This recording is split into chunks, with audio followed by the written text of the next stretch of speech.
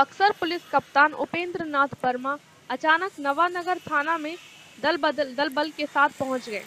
थाना परिसर में पुलिस कप्तान को अचानक देखते ही पुलिस अधिकारियों एवं सिपाहियों में हड़कंप मच गया एवं आनंद फानन में जो जहाँ था खुद को दुरुस्त करने में लग गया। थाना में पहुँचते ही पुलिस कप्तान ने एक एक केस के बारीकी छानबीन की और एवं प्रगति रिपोर्ट को चेक किया तथा थाना प्रभारी से फीडबैक भी लिया। अपने निरीक्षण के दौरान नवानगर थाना प्रभारी के कार्यों से संतुष्ट कप्तान ने थाना प्रभारी की सराहना करते हुए कहा कि नवानगर थाना प्रभारी के द्वारा बेहतर कार्य किया गया है।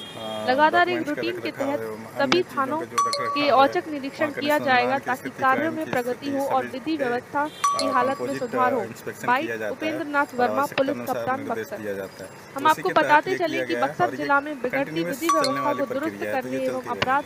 पर रोक लगाने के लिए बक्सर के तत्काल पुलिस कप्तान हाँ, राकेश कुमार के स्थान पर नए पुलिस कप्तान के रूप में उपेंद्र नाथ वर्मा को जिला में पदस्थ किया गया है। द्वारा, आ, अधिकांश इसके बाद लगातार अधिकारियों के साथ बैठक करने के बाद थानों के बीच औचक निरीक्षण किया जा रहा है। उसके लिए आवश्यक निर्देश दिया गया